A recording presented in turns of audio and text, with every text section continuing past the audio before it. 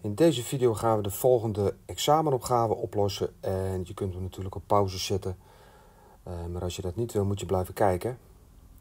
We hebben dus de volgende functie fx in het rood getekend.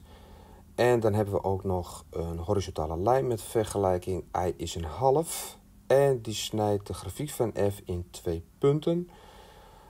En uh, we willen dus weten wat zijn de coördinaten van deze twee punten. En het moet exact, uh, dus we gaan dat eventjes handmatig doen.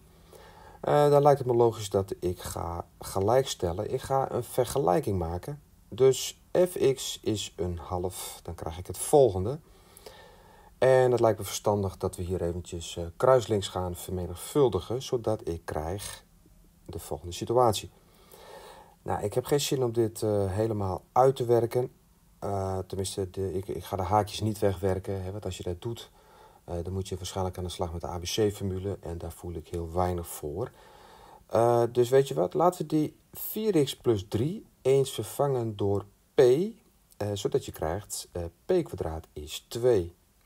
En dat is heel makkelijk oplossen. Want als je dan wil weten wat p is, dan zeg je dat is min de wortel van 2 of plus de wortel van 2. Nou, dat ga ik hier ook doen. Dus ik ga links en rechts de wortel nemen. Dus dan krijg ik 4x plus 3 is min de wortel van 2. En 4x plus 3 is de wortel van 2. Dan ga ik uh, in beide situaties 3 naar de rechterkant brengen. En ik ga ook delen door 4, zodat ik x overhoud. Dus x is, als ik min de wortel van 2 heb en ik deel dat door 4... en ik heb min 1 keer de wortel van 2...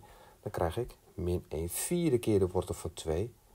En min 3 gedeeld door 4 is min 3 vierde. Dan ga ik de wortel van 2 delen door 4. Ik heb hem 1 keer, dus ik heb hem nu 1 vierde keer.